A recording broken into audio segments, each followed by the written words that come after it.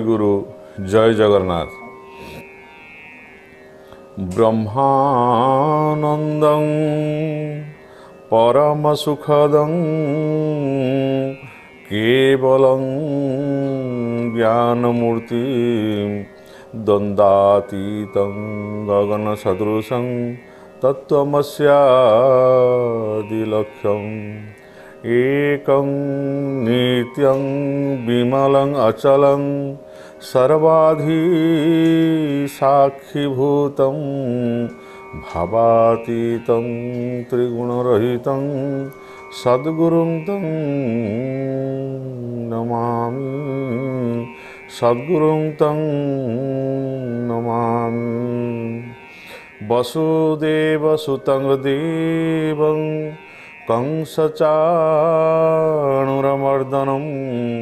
দেবকী পরমানন্দম কৃষ্ণ বন্দে জগদ্গুরু কৃষ্ণ বন্দে জগদ্গুরু কৃষ্ণায় বাসুদেবায় দেবকী নন্দনায় চ নন্দগোপকুমারায় গোবিন্দায় নমো নমঃ गोविंदायो नमो नमः। हरिओम हरिओम हरिओम ଏହି ଧରାଧାମରେ ମନୁଷ୍ୟ ଶରୀର ଧାରଣ କରି ଦ୍ୱାପର ଯୁଗରେ ଆବିର୍ଭୂତ ହେଉଥିଲେ। ଦେବକୀଙ୍କର ଯିଏ ହେଉଛନ୍ତି ଆନନ୍ଦଦାୟକ ଏବଂ ଯିଏ ହେଉଛନ୍ତି ବସୁଦେବଙ୍କର ସୂତ। ଯାହାକୁ ସମସ୍ତେ ଜାଣିଛନ୍ତି ଯିଏ ହେଉଛନ୍ତି ଭଗବାନ କୃଷ୍ଣ ଯିଏକି ଧର୍ମ ସଂସ୍ଥାପନାର୍ଥାୟ ସମ୍ଭବାମି ଉଗେ ଉଗେ ଅର୍ଥାତ୍ ଯିଏକି ଧର୍ମ ସଂସ୍ଥାପନ କରିବା ପାଇଁ ସାଧୁମାନଙ୍କୁ ପରିତ୍ରାଣ କରିପାରିବା ପାଇଁ ଏବଂ ଦୁଷ୍କୃତକୁ ବିନାଶ କରିବା ପାଇଁ। ଯୁଗକୁ ଯୁଗ ଏହି ମତେ ପରମାନନ୍ଦ ଏ ଜଗତେ। ଏ ଜଗତରେ ସେ ପରମ ଆନନ୍ଦଦାୟକ ଆନନ୍ଦ କନ୍ଦ ଭଗବାନ। ଯିଏ ହେଉଛନ୍ତି ସଚ୍ଚିଦାନନ୍ଦ ସ୍ୱରୂପ ସଚିତ ଆନନ୍ଦ ରୂପକ ଯେଉଁ ଭଗବାନ ସେ ନିଜେ ସ୍ୱୟଂ ସ୍ୱ ମହିମାରେ ସ୍ୱ କରୁଣାରେ ଜୀବଜଗତରେ ଆବିର୍ଭୂତ ହୋଇଥିଲେ। ଧର୍ମକୁ ସଂସ୍ଥାପନ କରିବା ସାଧୁମାନଙ୍କୁ ପରିତ୍ରାଣ କରିବା ଦୁଷ୍କୃତଙ୍କୁ ବିନାଶ କରିବା ପାଇଁ ତାଙ୍କର ସ୍ୱତନ୍ତ୍ର ଭାବରେ ଦ୍ୱାପର ଯୁଗରେ ଦେବକୀଙ୍କର ପୁତ୍ର ଭାବରେ ଏବଂ ବସୁଦେବଙ୍କର ସୁତ ରୂପରେ ସେ ଆବିର୍ଭୂତ ହୋଇଥିଲେ। ସେଇ ଭଗବାନ କୃଷ୍ଣ ଯଦିଓ ଦ୍ୱାପର ଯୁଗରେ ଆବିର୍ଭୂତ ହୋଇଥିଲେ କିନ୍ତୁ ସେ ହେଉଛନ୍ତି ନିଜେ ଆନନ୍ଦଦାୟକ ସଚିଦାନନ୍ଦ ଭଗବାନ ଷଡ଼ ଐଶ୍ୱର୍ଯ୍ୟ ସମ୍ପନ୍ନ ଏବଂ ପୂର୍ଣ୍ଣ ଅବତାର। ସେ ନିଜେ ହେଉଛନ୍ତି ଅବତାରୀ ଏବଂ ସେ ନିଜେ ହେଉଛନ୍ତି ଅବତାର। ସେଇଥିପାଇଁ ପ୍ରତ୍ୟେକ ଯୁଗରେ ସତ୍ୟ ଦ୍ୱାପର ତ୍ରେତୟା ଏବଂ କଳି ଯୁଗରେ ସେଇ କୃଷ୍ଣ ନାମଟିକୁ ସର୍ବଶ୍ରେଷ୍ଠ ଭାବରେ ବା ଭଗବାନ କୃଷ୍ଣଙ୍କୁ ସମସ୍ତେ ସର୍ବଶ୍ରେଷ୍ଠ ଭଗବାନ ହିସାବରେ ସ୍ତବନ ପୂଜନ ଆଦି କରି ନିଜର ଏହି ଜୀବଜନୀକୁ ସାର୍ଥକ କରି ଆସୁଛନ୍ତି ଏହା ସର୍ବବିଦିତ। ଯାହାକୁ ଗୁରୁ ପରମ୍ପରାରେ ଆମମାନଙ୍କ ଭିତରେ ଆବିର୍ଭୂତ ହୋଇଥିବା ବ୍ୟାସଦେବ ଯିଏକି ବିଷ୍ଣୁଙ୍କର ଅବତାର ବୋଲି ତାଙ୍କୁ ସ୍ୱୀକାର କରାଯାଏ ବ୍ୟାସାୟ ବିଷ୍ଣୁ ରୂପାୟ ବ୍ୟାସ ରୂପାୟ ବିଷ୍ଣବେ। ନିଜେ ସାକ୍ଷାତ ବିଷ୍ଣୁ। ସେ ନିଜେ ମଧ୍ୟ ସ୍ୱମୁଖରେ କହିଛନ୍ତି ଯେ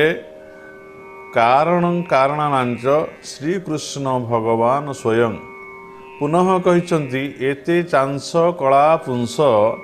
କୃଷ୍ଣସ୍ତୁ ଭଗବାନ ସ୍ୱୟଂ ସମସ୍ତେ ହେଉଛନ୍ତି ଅଂଶ କଳା କିନ୍ତୁ ଭଗବାନ ହେଉଛନ୍ତି ପୂର୍ଣ୍ଣ ଏବଂ ସେ ହେଉଛନ୍ତି ସ୍ୱୟଂ ଭଗବାନ କୃଷ୍ଣ ଏବଂ ସେ ହେଉଛନ୍ତି ଅବତାରୀ ଏବଂ ତାଙ୍କଠାରୁ ମତ୍ସ୍ୟ କଶ୍ୟପ ଆଦି ଅନେକ ଅବତାର ଯୁଗକୁ ଯୁଗ ଏହି ମତେ ପରମାନନ୍ଦ ଏ ଜଗତେ ଇଏ ଭଗବାନ ନାନା ରୂପରେ ଆସୁଛନ୍ତି ବେଦକୁ ଉଦ୍ଧାର କରିବା ପାଇଁ ଧର୍ମକୁ ସଂସ୍ଥାପନ କରିବା ପାଇଁ ଏବଂ ଏ ଧରାର ଭାରକୁ ବା ଏ ପୃଥିବୀର ଭାରାକୁ ଉଶ୍ୱାସ କରିବା ପାଇଁ ରାକ୍ଷସମାନଙ୍କ କବଳରୁ ଉଦ୍ଧାର କରିବା ପାଇଁ ସାଧୁ ସନ୍ଥକୁ କେତେବେଳେ ପରିତ୍ରାଣ କରିବା ପାଇଁ ଇତ୍ୟାଦି ଇତ୍ୟାଦି ବିଭିନ୍ନ କାର୍ଯ୍ୟ ପାଇଁ ଯେତେବେଳେ ଆବଶ୍ୟକ ପଡ଼ୁଛି ସେତେବେଳେ ଭଗବାନ ସ୍ୱୟଂ ଆବିର୍ଭୂତ ହୁଅନ୍ତି ନିଜେ ଅଂଶ କଳା ଭାବରେ ବା ନିଜେ ଅଂଶ ରୂପରେ କିନ୍ତୁ ମୂଳରେ ପ୍ରତ୍ୟେକ ଯୁଗରେ ଭଗବାନ କୃଷ୍ଣ ଯଜ୍ଞେଶ ନାରାୟଣ କୃଷ୍ଣ ବିଷ୍ଣୁ ସେ ନିଜେ କୃଷ୍ଣ ସେ ହେଉଛନ୍ତି ବିଷ୍ଣୁ ସେ ନିଜେ ହେଉଛନ୍ତି ନାରାୟଣ ଏବଂ ସେ ନିଜେ ପ୍ରତ୍ୟେକ ସମୟରେ ଯେତେବେଳେ ଆବଶ୍ୟକ ପଡ଼ିଛି ଏ ଧରାଭାରକୁ ଉଶ୍ୱାସ କରିବା ପାଇଁ ଧର୍ମରେ ଯେତେବେଳେ ଗ୍ଲାନି ଦେଖାଯାଉଛି ଯେତେବେଳେ ସର୍ବଶ୍ରେଷ୍ଠ ଦୁର୍ଲଭ ପ୍ରାଣୀ ମନୁଷ୍ୟ ଧର୍ମକୁ ପାଳନ କରୁନାହିଁ ସ୍ୱଧର୍ମକୁ ତ୍ୟାଗ କରିଦେଉଛି ଏବଂ ଯେତେବେଳେ ସେ ବିପଥଗାମୀ ହେଇଯାଉଛି ମନୁଷ୍ୟଚିତ ଯେଉଁ କର୍ତ୍ତବ୍ୟ କର୍ମକୁ ଭୁଲିଯାଇ ପଶୁଆଚରଣ କରି ସଂସାର ଭିତରେ ନାନା ଦୁଃଖରେ ନିପତିତ ହେଉଛି ସେତେବେଳେ ସେହି ଭଗବାନ ନିଜେ ସ୍ୱୟଂ ଭଗବାନ କୃଷ୍ଣ ବିଭିନ୍ନ ରୂପରେ ଆବିର୍ଭୂତ ହୋଇ ଏହି ଜୀବ ଜଗତକୁ ନାନା ଭାବରେ ଶିକ୍ଷା ଦୀକ୍ଷା ଦେଇ ପାବନ କରୁଛନ୍ତି। ତେଣୁ ସେ ହେଉଛନ୍ତି ଅତ୍ୟନ୍ତ କରୁଣାମୟ ଦୀନବନ୍ଧୁ ଅର୍ଥାତ୍ ବିପଦର ବନ୍ଧୁ ଏବଂ ସେ ପ୍ରତ୍ୟେକ ମୁହୂର୍ତ୍ତରେ କରୁଣାରେ ବିଗଳିତ ହୋଇ ପ୍ରାଣୀମାନଙ୍କୁ କିଭଳି ଭାବରେ ଇଏ ଭବବନ୍ଧନରୁ ମୁକ୍ତ କରିବେ ସେଇ ପ୍ରୟାସରେ ସେ ଅବତୀର୍ଣ୍ଣ ହେଉଛନ୍ତି। ତେଣୁ ସେ ଯେ କେବଳ ଲୀଳା ଜଗତରେ ବସୁଦେବଙ୍କର ପୁତ୍ର ବା ଦେବକୀଙ୍କର ନନ୍ଦନ ନନ୍ଦନ ଭାବରେ ଆବିର୍ଭୂତ ହୋଇଛନ୍ତି ବା ତାଙ୍କୁ କେବଳ ସୁଖ ଦେବା ପାଇଁ ଏକଥା ନୁହେଁ ସେ ନିମିତ୍ତ ମାତ୍ର ଭାବରେ ଗୋଟିଏ ଆଧାର ମାଧ୍ୟମରେ ବା ପିତାମାତାଙ୍କ ମାଧ୍ୟମରେ ନିମିତ୍ତ କରି ସେ ନିଜେ ଆବିର୍ଭୂତ ହୁଅନ୍ତି। ସମଗ୍ର ବିଶ୍ୱ ବ୍ରହ୍ମାଣ୍ଡର କଲ୍ୟାଣ କରିବା ପାଇଁ ଜଣଙ୍କ ପାଇଁ ନୁହନ୍ତି। କି ସେ କେବଳ କୌଣସି ଜାତି ପାଇଁ କୌଣସି ବର୍ଣ୍ଣ ପାଇଁ ବା କୌଣସି ନିର୍ଦ୍ଦିଷ୍ଟ ଧର୍ମକୁ ଆଚରଣ କରୁଥିବା ବ୍ୟକ୍ତିବିଶେଷ ବା ମନୁଷ୍ୟ ସମାଜ ପାଇଁ ନୁହେଁ କୀଟ ପତଙ୍ଗ ସ୍ଥାବର ଜଙ୍ଗମ ଆଦି ଯାହା କିଛି ସୃଷ୍ଟିରେ ସମ୍ଭବ ହେଇଛି ସମସ୍ତଙ୍କର କଲ୍ୟାଣକାରୀ ଭଗବାନ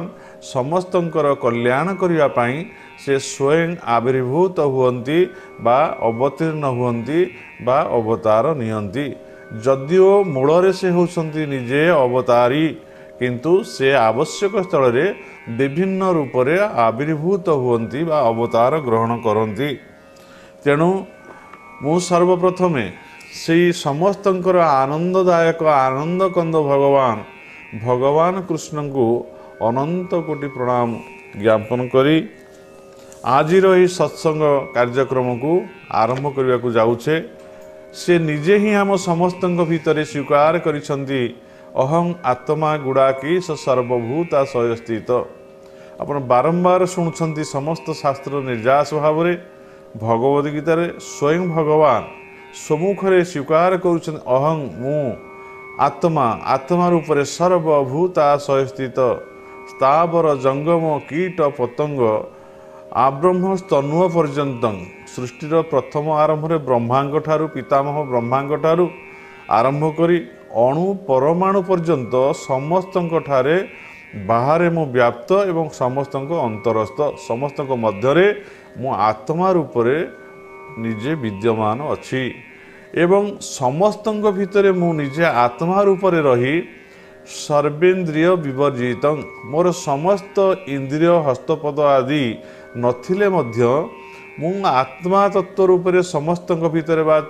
ଚେତନା ବା ଚୈତନ୍ୟ ରୂପରେ ସମସ୍ତଙ୍କ ଭିତରେ ଆବିର୍ଭୂତ ହୋଇ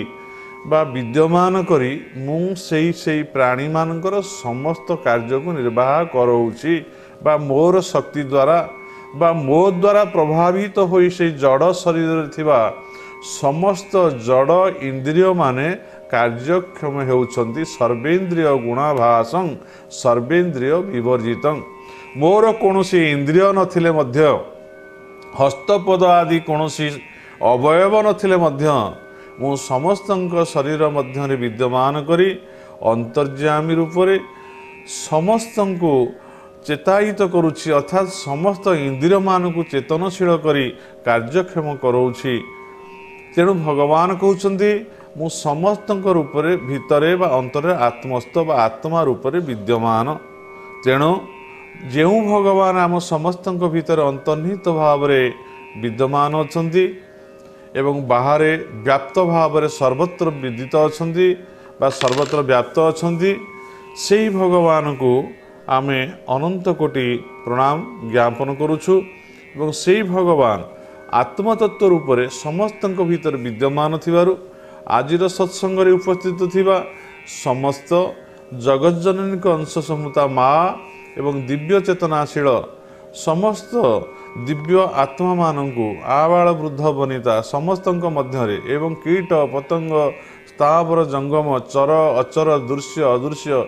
ସବୁଠାରେ କେବଳ ତାଙ୍କର ଉପସ୍ଥିତିକୁ ଅନୁଭବ କରି ଏଇଠାରେ ଆମେ ସମସ୍ତଙ୍କୁ ପ୍ରଣାମ ଜ୍ଞାପନ କରୁଛୁ। ଏବଂ ଯିଏ ପ୍ରକୃତରେ ପ୍ରକୃତରେ ଯେଉଁମାନେ ଆତ୍ମଦର୍ଶୀ ବା ଆତ୍ମଜ୍ଞାନୀ ବା ଯେଉଁମାନେ ଗୁରୁଙ୍କ ଠାରୁ ଆତ୍ମଜ୍ଞାନ ଲାଭ କରିଥାନ୍ତି ଏବଂ ଆତ୍ମାନୁସନ୍ଧାନ ପଥରେ ନିଜକୁ ବ୍ରତି କରିଥାନ୍ତି ସେମାନଙ୍କ ପାଖରେ କୌଣସି ଜାତି ନାହିଁ କୌଣସି ଧର୍ମ ବା କୌଣସି ବର୍ଣ୍ଣ ଇତ୍ୟାଦି ଇତ୍ୟାଦି ନାହିଁ ବା ସେମାନେ ସମସ୍ତ ଘଟଠାରେ ଆଚାଣ୍ଡାଳ ବ୍ରାହ୍ମଣ କୀଟ ପତଙ୍ଗ ସ୍ଥାବର ଜଙ୍ଗମ ଏବଂ ବିଦ୍ୟା ବିନୟ ସମ୍ପନ୍ନ ବ୍ରାହ୍ମଣ ଗାଭୀ ହସ୍ତି ଆଦି ଏବଂ ଚାଣ୍ଡାଳ ବ୍ରାହ୍ମଣ ଆଦି ସମସ୍ତଙ୍କଠାରେ ସମଦୃଷ୍ଟି ସେମାନଙ୍କର ଥାଏ। କାରଣ ବାହ୍ୟ ଭାବରେ ସମସ୍ତେ ଭିନ୍ନ ଭିନ୍ନ ରୂପରେ ଏଠି ଅବତୀର୍ଣ୍ଣ ହୋଇଥିଲେ ମଧ୍ୟ ସମସ୍ତଙ୍କ ଭିତରେ ଯେ ଏକ ଭଗବାନ ପରମବ୍ରହ୍ମ ପରମାତ୍ମା ଆତ୍ମା ରୂପରେ ଦିବ୍ୟ ଆତ୍ମା ରୂପରେ ସମସ୍ତଙ୍କ ଭିତରେ ପ୍ରକାଶିତ ଏବଂ ସମସ୍ତଙ୍କର କାର୍ଯ୍ୟକୁ ସେ ନିୟନ୍ତ୍ରିତ କରୁଛନ୍ତି ବା ପରିଚାଳନା କରୁଛନ୍ତି ସମସ୍ତ ଜଡ଼ ପଦାର୍ଥକୁ। ସେଇଥିପାଇଁ ସମସ୍ତ ଚେତନାଶୀଳ ବ୍ୟକ୍ତିମାନେ ସତ୍ସଙ୍ଗ କରୁଛନ୍ତି ଯେଉଁମାନେ ଯେଉଁମାନେ ଆତ୍ମଜ୍ଞାନ ଲାଭ କରୁଛନ୍ତି ଶାସ୍ତ୍ରକୁ ଶାସ୍ତ୍ର ପଥରେ ବା ଶାସ୍ତ୍ର ଯାହା ଆମମାନଙ୍କୁ କହିଛନ୍ତି ଆମେ ସେଇ ପଥରେ ଯଦି ଆମେ ଶାସ୍ତ୍ର ନିର୍ଦ୍ଦେଶିତ ପଥ ବେଦ ବେଦାନ୍ତର ନିର୍ଦ୍ଦେଶିତ ପଥରେ ଯଦି ଆମେ ଅନୁଗମନ କରୁଛେ ତାହେଲେ ନିଶ୍ଚିନ୍ତ ଭାବରେ ଆମ ଭିତରେ କୌଣସି ଭେଦଭାବ ରହିବା ଉଚିତ ନୁହେଁ ତେବେ ଆମେ ଆଜି ପର୍ଯ୍ୟନ୍ତ ବହୁ ବିଷୟରେ ଆଲୋଚନା କରିଛେ ପୁଙ୍ଖାନୁପୁଙ୍ଖ ଭାବରେ ତେବେ ଏବେ ଟିକେ ଶାସ୍ତ୍ରକୁ ଶାସ୍ତ୍ର ବିଷୟରେ ଆଲୋଚନା କରିବା ଆମ ସନାତନ ଧର୍ମରେ ଅନନ୍ତ ଶାସ୍ତ୍ରଂ ବହୁ ବୈଦିତବ୍ୟଂ ସ୍ୱଳ୍ପଶ୍ଚ କାଳ ବହୁ ବିଘ୍ନ ବିଘ୍ନନାନି ଏବଂ ଆମର ଅନନ୍ତ ଶାସ୍ତ୍ର ଶାସ୍ତ୍ର ଗୋଟିଏ ନୁହେଁ ଯଦିଓ ମୌଳିକ ଭାବରେ ମୂଳ ଗ୍ରନ୍ଥ ହିସାବରେ ଏବଂ ସେଠି ଆମେ ବେଦ ଏବଂ ବେଦ ପରେ ବେଦାନ୍ତ ଉପନିଷଦ ଶାରୀରିକ ସୂତ୍ର ଦର୍ଶନ ଶାସ୍ତ୍ର ଆଦି ଏବଂ ଚତୁର୍ଦଶ ବିଦ୍ୟା ଆଦି ଏବଂ ପୁରାଣ ମାନଙ୍କୁ ଆମେ ଶାସ୍ତ୍ର ହିସାବରେ ପ୍ରାଧାନ୍ୟ ଦେଇ ଆସୁଥିଲେ ମଧ୍ୟ ପୁରାଣ ଉପପୁରାଣ ବେଦ ଉପବେଦ ଆଦି ଆମେ ଯଦି ଏଇଭଳି ଭାବରେ ଛୋଟ ବଡ଼ ଆଦି ଦେଖିବା ଆମେ ଅନନ୍ତ ଶାସ୍ତ୍ର ଶାସ୍ତ୍ର ଅନନ୍ତ ଅଛି ଯେ ଆମକୁ ଶାସନ କରେ ଅନୁଶାସନ କରେ ଯାହାକୁ ଆମେ ଅନୁଶୀଳନ କରି ବା ଯାହାକୁ ଆମେ ବୁଝି ପଢ଼ି ଜାଣି ଯିଏ ଆମକୁ ନିୟମରେ ବାନ୍ଧି ଦିଏ ଶାସ୍ତ୍ରୀୟ ନିୟମରେ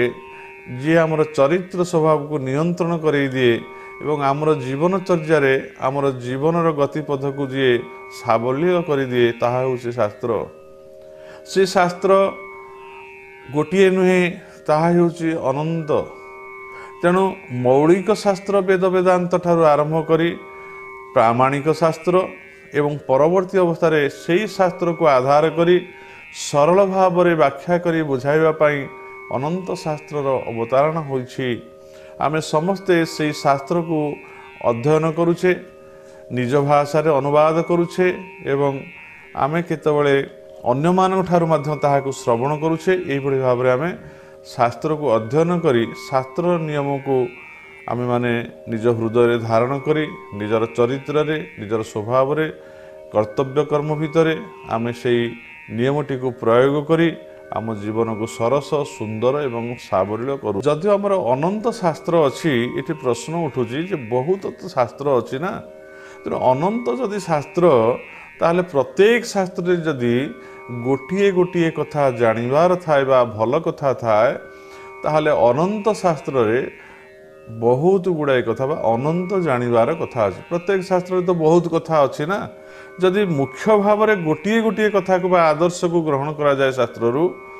ତାହେଲେ ଯଦି ଶାସ୍ତ୍ର ଅନନ୍ତ ତାହେଲେ ଜାଣିବା କଥା ମଧ୍ୟ ବହୁ ବିଦିତ ଏବଂ ବହୁତ ଜାଣିବା କଥା ଅଛି ତା ଭିତରେ। ତେଣୁ ଆମର ହେଉଛି କିନ୍ତୁ ସ୍ୱଳ୍ପ କାଳ ଅର୍ଥାତ୍ ନ ମୃତ୍ୟୁ କାଳ ପୁରୁଷସ୍ୟ ନିଶ୍ଚିତ ଆମମାନଙ୍କର ମୃତ୍ୟୁର କାଳ ନିର୍ଦ୍ଧାରିତ କରାଯାଏ ନାହିଁ। ନଚାପି ମୃତ୍ୟୁ ପୁରୁଷଙ୍କ ପ୍ରତୀକ୍ଷତେ ଆମମାନଙ୍କର ଧର୍ମକାଳ ନିର୍ଦ୍ଧାରିତ ନ ଧର୍ମକାଳ ପୁରୁଷସ୍ୟ ନିଶ୍ଚିତ ନଚାପି ମୃତ୍ୟୁ ପୁରୁଷଙ୍କ ପ୍ରତୀକ୍ଷତେ। ନା ଧର୍ମକାଳର ନିର୍ଦ୍ଧାରଣ କରାଯାଇଛି କେଉଁ ବୟସରେ ଧର୍ମ ଗ୍ରହଣ କରାଯିବ କାହିଁକି? ନା ଯେହେତୁ ମୃତ୍ୟୁ ପ୍ରତ୍ୟେକ ମୁହୂର୍ତ୍ତରେ ଆମକୁ କବଳିତ କରୁଅଛି ଜନ୍ମରୁ ଆରମ୍ଭ କରି ମୃତ୍ୟୁ ପର୍ଯ୍ୟନ୍ତ ଅବଧି ଯେଉଁ ଜୀବନ ଇଏ ପ୍ରତ୍ୟେକ ମୁହୂର୍ତ୍ତରେ ମୃତ୍ୟୁ ମୁଖରେ ପତିତ ହେବାର ସମ୍ଭାବନା ରହିଛି। ଆ ପାଇଁ କୌଣସି କାଳ ବା ସମୟ ନିର୍ଦ୍ଧାର୍ଯ୍ୟ ହୋଇନାହିଁ। କିଏ ଜନ୍ମରୁ ମୃତ୍ୟୁ ହେଇପାରେ ଜନ୍ମ ପରେ କିଛି ଦିନ ପରେ ମୃତ୍ୟୁ ହେଇପାରେ ଦୁଇ ବର୍ଷ ପାଞ୍ଚ ବର୍ଷ ଆଦି ଦଶ ବର୍ଷ ପଚାଶ ବର୍ଷ କୌଣସି ମୁହୂର୍ତ୍ତରେ ଏ ମୃତ୍ୟୁ କାଳ ଆମକୁ ଗ୍ରାସ କରିପାରେ ବା ମୃତ୍ୟୁ ଆମକୁ ଗ୍ରାସ କରିପାରେ ସେଥିପାଇଁ ଆମେ ଅନନ୍ତ ଶାସ୍ତ୍ରରେ ଯଦି ବହୁତ କଥା ଜାଣିବାକୁ ଅଛି ଆମେ ସେ ଶାସ୍ତ୍ରକୁ ପଢ଼ିବା କେତେବେଳେ ତାକୁ ବୁଝିବା କେତେବେଳେ ଏବଂ ପ୍ରତ୍ୟେକ ଶାସ୍ତ୍ରରେ ଯଦି ଆମେ ନ ଶାସ୍ତ୍ରକୁ ନ ପଢ଼ିବା ବା ଅଧ୍ୟୟନ ନ କରିବା ତାହେଲେ କେଉଁ ଶାସ୍ତ୍ରରେ କେତେ ଭଲ କଥା ଅଛି ବା ସେ ଅନନ୍ତ ଭଲ କଥା ମଧ୍ୟରୁ କେଉଁଟା ଶ୍ରେଷ୍ଠ ଭଲ କଥା ବା କେଉଁଟା ଆମ ପାଇଁ କରଣୀୟ କଥା ଆମେ ସେ କଥା ବୁଝିବା ଅତ୍ୟନ୍ତ କଷ୍ଟକର କାରଣ ଆମ ହାତରେ ସମୟ ନାହିଁ। ଯେଭଳି ଭାବରେ ହଂସ ଜଳ ମଧ୍ୟରୁ କ୍ଷୀରକୁ କେବଳ ଗ୍ରହଣ କରି ଜଳକୁ ତ୍ୟାଗ କରିଥାଏ ସେହିଭଳି ଭାବରେ ଅନନ୍ତ ଶାସ୍ତ୍ର ଥିଲେ ମଧ୍ୟ ଆମେ ସେହି ଶାସ୍ତ୍ର ମଧ୍ୟରୁ କେବଳ ସାରକୁ ସଂଗ୍ରହ କରିବା ଅସାରକୁ ଆମେ ଗ୍ରହଣ କରିବା ନାହିଁ କାରଣ ଆମ ଭିତରେ ଏତେ କଥା ଗ୍ରହଣ କରିବାର ଶକ୍ତି ନାହିଁ। ଆମେ ହେଉଛେ ଅଣୁ ଚୈତନ୍ୟ ଭଗବାନ ହେଉଛନ୍ତି ବିଭୁ ଚୈତନ୍ୟ ଆମେ ଅଣୁ ହେଇଥିବାରୁ ଆମର ବୁଦ୍ଧି ବିଦ୍ୟା ଜ୍ଞାନ ବିବେକ ଏସବୁ ସସୀମ ନୁହେଁ ଅନନ୍ତ ନୁହେଁ ବ୍ୟାପ୍ତ ନୁହେଁ ଏହା ହେଉଛି ସୀମିତ ଆମର ସୀମିତ ବୁଦ୍ଧି ସୀମିତ ଜ୍ଞାନ ସୀମିତ ବିଦ୍ୟାରେ ଆମେ ଯେତିକି ଗ୍ରହଣ କରିପାରିବା ତାହା ହିଁ ଗ୍ରହଣୀୟ ଏବଂ ଯଦି ଆମେ ସମସ୍ତ କଥାକୁ ଜାଣିବାକୁ ଇଚ୍ଛା କରିବା ଆମେ କିଛି ଜାଣିପାରିବା ନାହିଁ। ସେଇଥିପାଇଁ ଏ ଶାସ୍ତ୍ର ଅନନ୍ତ ହେଇଥିଲେ ମଧ୍ୟ ବ୍ୟାସଦେବ କହୁଛନ୍ତି ବା ଶାସ୍ତ୍ରରେ କେଉଁଠାରେ ଦର୍ଶାଯାଇଛି ଯେ ସ୍ୱାନୁଭୂତି ସୁଶାସ୍ତ୍ରସ୍ୟ ଗୁରୁଶ୍ଚ ବାକ୍ୟତା ବାକ୍ୟ ଅର୍ଥାତ୍ ଗୁରୁଶ୍ଚୈବକ୍ୟ ବାକ୍ୟତାମ ଗୁରୁଶ୍ଚ ବାକ୍ୟ ବାକ୍ୟତାମ ଅର୍ଥାତ୍ ଏଥିରେ ସ୍ୱାନୁଭୂତି ଅର୍ଥାତ୍ ନିଜର ଅନୁଭୂତି ଆମେ ସତ୍ସଙ୍ଗ କରି ଯେଉଁ ଅନୁଭୂତି ପାଉଛେ ଶାସ୍ତ୍ର ବିଷୟରେ ବା ଭଗବାନଙ୍କ ବିଷୟରେ ଆତ୍ମା ବିଷୟରେ ଆମେ ସତ୍ସଙ୍ଗ ମାଧ୍ୟମରେ ଆମେ ଚରିତ୍ର ବିଷୟରେ ଆମର କର୍ତ୍ତବ୍ୟ କର୍ମ ଭିତରେ ଯାହା ସତ୍ସଙ୍ଗ ମାଧ୍ୟମରେ ଶାସ୍ତ୍ର ଆଲୋଚନା କରେ ସେଠୁ ଆମେ ଯାହା ଶୁଣିଲେ ଏବଂ ଆମର ଯାହା ନିଜର ସ୍ୱ ଅନୁଭୂତି ହେଲା ତାପରେ ସୁଶାସ୍ତ୍ର ଅନନ୍ତ ଶାସ୍ତ୍ର ଭିତରେ ତା ଭିତରେ କେଉଁଟା ସୁଶାସ୍ତ୍ର କେଉଁଟା କୁଶାସ୍ତ୍ର ତାକୁ ଆମକୁ ବୁଝା ହେବ ଆମେ ତାକୁ ଶୁଣିବା ଜାଣିବା ଏବଂ ଯାହା ସୁଶାସ୍ତ୍ର ସୁଶାସ୍ତ୍ର ଅର୍ଥ ହେଉଛି ଯେଉଁଥିରେ ଆତ୍ମଜ୍ଞାନ ଅଛି ଏବଂ ସେଥିରେ ବିଶେଷ ଭାବରେ ବନ୍ଧନର କାରଣ ନାହିଁ ବୈଷୟିକ ଜ୍ଞାନ ନାହିଁ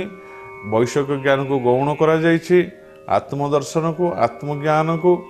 ମୁଖ୍ୟ କରାଯାଇଛି ଏବଂ ଯେଉଁଥିରେ ବୁଦ୍ଧି ବିବେକ ମାର୍ଜିତ ହୁଏ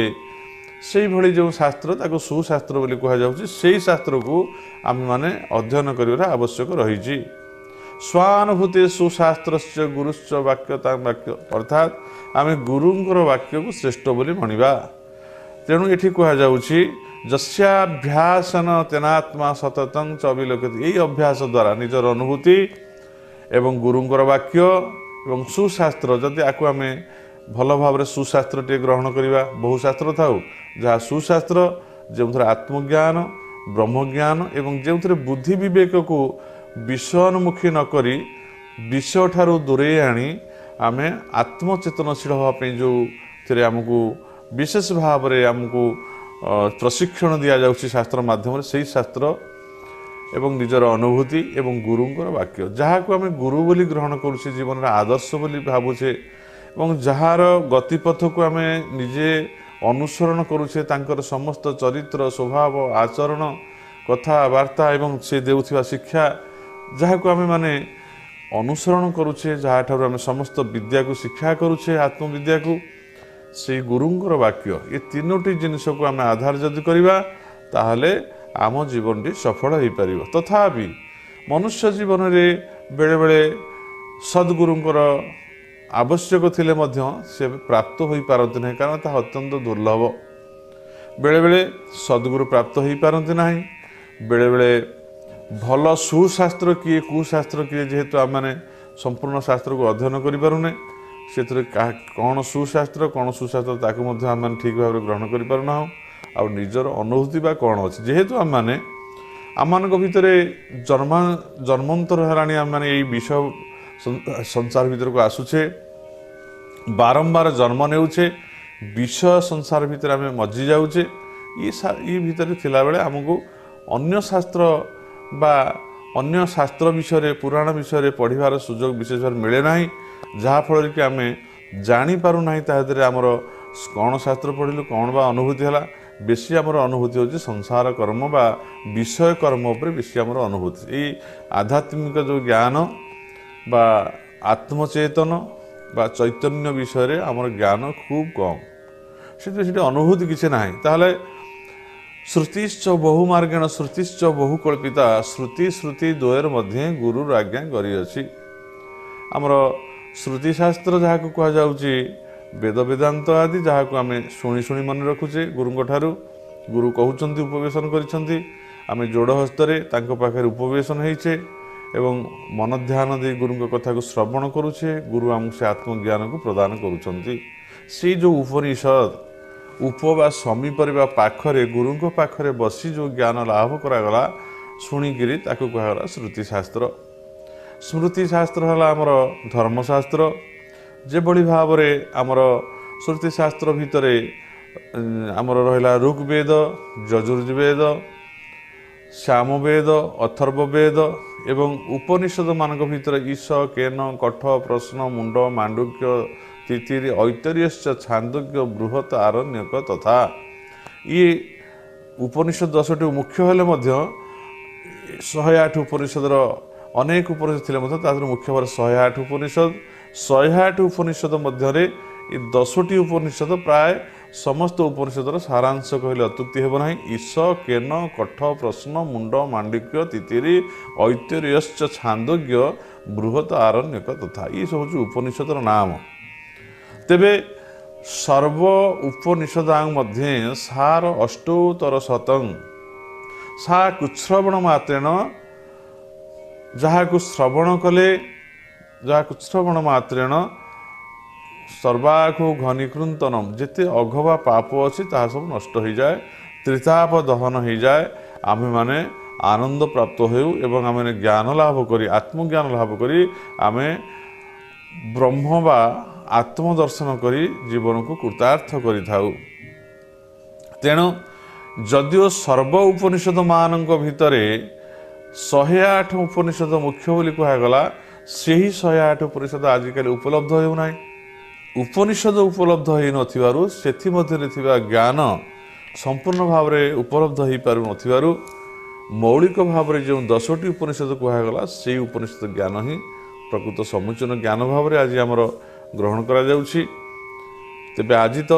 ସମୟ ହୋଇଯାଇଛି ଇଏ କଥା ଆମେ ଆଲୋଚନାକୁ ଆମେ ଆଗକୁ ନେବା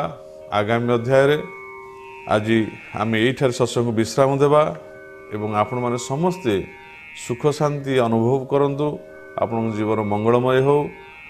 ଏଇ କଥା ଭଗବାନ ପାଖରେ ପ୍ରାର୍ଥନା କରି ଲୋକା ସମସ୍ତା ସୁଖୀନ ଭବନ୍ତୁ। ଓମ୍ ଶାନ୍ତି ଓ